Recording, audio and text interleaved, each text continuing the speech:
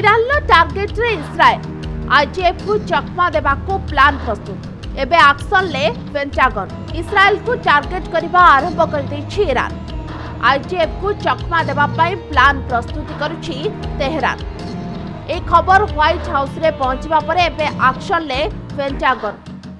ইরানর আক্রমণকু নজরে রাখি middle ইস্টরে America মুতয়ন করেছে বি টুয়েলভ বোমা বর্ষণকারী বিমান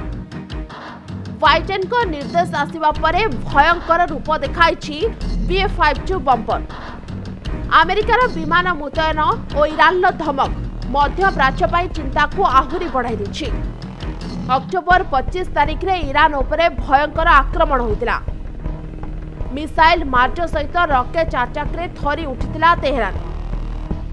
ଇସ୍ରାଏଲର ଲଗାତାର ଆକ୍ରମଣରେ ଘାବରେଇ ଯାଇଥିଲେ ଇରାନର ସୁପ୍ରିମ୍ ଲିଡର ଆୟତୋଲ୍ଲା ଖାମନେଇ ଆଉ ତାପରେ ଇସ୍ରାଏଲ ଉପରେ ଆକ୍ରମଣ କରିବା ପାଇଁ ବାଟ ଖୋଜୁଛି ଇରାନ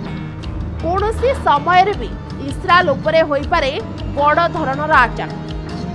ସେଥିପାଇଁ ୱାର ରୁମ୍ର ବଡ଼ ଯୋଜନା ପ୍ରସ୍ତୁତ କରିବାରେ ଲାଗି ପଡ଼ିଛନ୍ତି ଖାମନେଇ ଆଉ ଇସ୍ରାଏଲକୁ ବଡ଼ ଚେତାବନୀ ଦେଇଛନ୍ତି Tehran Iran supreme leader Khamenei କହିଛନ୍ତି ଇସ୍ରାଏଲକୁ ମାରି ଦାନ୍ତ ଭାଙ୍ଗିଦେବୁ एभली कि आईजेएफ आक्रमण करने खामने निर्देश देखा इस्राएल और आमेरिका को जनवाई रिभल्यूशनारी गार्ड कमांडर हुसैनी कहते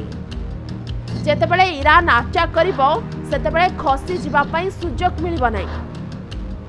सेपटे वार रूम रे इस्राएल प्रधानमंत्री बेंजामिन नेतन्याहू भी बैठक पर बैठक करेहरान को पाने देवाक बड़ प्लान ସେବେଳେ ଇରାନ ଇସ୍ରାଏଲ ଭିତରେ କ'ଣ ଚାଲିଛି ସେ ନେଇ ନଜର ରଖିଛି ଆମେରିକାର ଗୁଇନ୍ଦା ସଂସ୍ଥା